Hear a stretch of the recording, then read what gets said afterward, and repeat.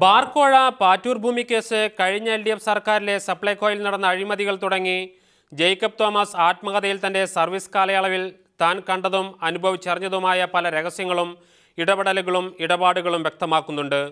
ബാർക്കോഴ കേസിൽ ആഭ്യന്തരമന്ത്രിയായിരുന്ന രമേശ് ചെന്നിത്തല നൽകിയ പിന്തുണ ഉമ്മൻചാണ്ടിയും എ ഗ്രൂപ്പും തനിക്കെതിരെ നീങ്ങിയത് അന്വേഷണങ്ങൾ അട്ടിമറിക്കപ്പെട്ടത് എല്ലാം പരാമർശ വിഷയമാകുന്നു. സി ദിവാകരൻ സപ്ലൈകോ മന്ത്രിയായിരുന്ന കാലത്ത് സപ്ലൈകോയിൽ കരാറുകാരും രാഷ്ട്രീയ ഉന്നതരും ചേർന്ന് നടത്തിയ അഴിമതികളെല്ലാം പുസ്തകം വിശദീകരിക്കുന്നുണ്ട്. പാറ്റൂർ ഭൂമി കേസിലെ അന്വേഷണവും ഇടപെടലുകളും പരാമർശ വിഷയമാകുന്നു. സർവീസ് കാലയളവിൽ ഒരു ഐ പി എസ് ഉദ്യോഗസ്ഥൻ കാത്തുസൂക്ഷിക്കേണ്ട മര്യാദകളുടെയും മാനദണ്ഡങ്ങളുടെയും ലംഘനം പുസ്തകത്തിലുണ്ടെന്ന വിലയിരുത്തലാണ് പൊതുവെയുള്ളത്. വിരമിച്ച ശേഷം മാത്രം പ്രകടമാക്കുന്ന സത്യങ്ങൾ സർവീസ് കാലയളവിൽ തന്നെ തുറന്നുകാട്ടിയാൽ സർവീസ് ചട്ടങ്ങളുടെ ലംഘനം മാത്രമല്ല മറ്റു ഉദ്യോഗസ്ഥരും ഈ വഴി തുറന്നാൽ ഇത് സർക്കാരുകൾക്കും തലവേദനയാകും. പുസ്തകത്തിന്റെ ഉള്ളടക്കം പ്രകാശനം കഴിയും വരെ രഹസ്യമാക്കി വയ്ക്കണമെന്ന് പ്രസാധകർക്ക് നിർദ്ദേശമുണ്ടായിരുന്നതായാണ് സൂചന. എന്നാൽ ബാർ കേസുമായി ബന്ധപ്പെട്ട വാർത്ത കഴിഞ്ഞ ദിവസം മാതൃഭൂമി ന്യൂസ് പുറത്തുവിട്ടതിനെ തുടർന്നാണ് കോൺഗ്രസ് നേതൃത്വം മുഖ്യമന്ത്രിക്ക് പരാതിയുമായി എത്തിയത്.